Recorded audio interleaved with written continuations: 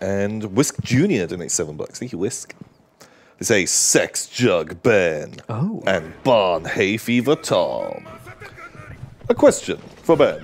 Yes. Does your family watch your streams? Or do they only hear about them from you? Um, I don't. Neither. I'll be honest with you. I don't really go home and go. You'll never guess what, darling and boy.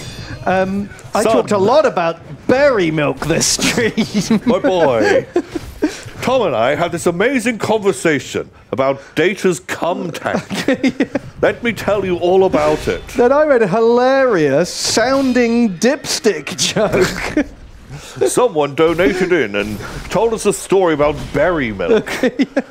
Let me tell you all about it, son. You like Lord of the Rings. It's a bit like that. now, if you had to fuck a centaur, what kind of animal would you combine together? I chose half B.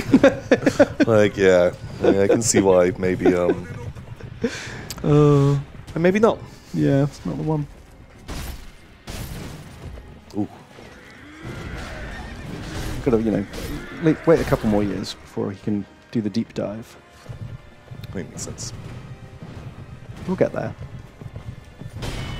Uh, they say also, do you think the boy would start to watch your streams as he gets older, or would you try to hide their existence from him? Well, I can't hide their existence. Um, but I think it's a universal rule that when kids get older, they think whatever their parents do is fucking lame. Yeah. Um, so I doubt he'll be interested. When he's old enough that I'm not worried about him watching it, he'll think it's the worst. So, um, you know, that's just the way it goes. He'll be going into his rebellious footballing phase at that point, I imagine. Oh yeah. Oh yeah. Like yeah, he will, um, you know, turn against you and become um, super Chad. Everything he was sworn to destroy. exactly.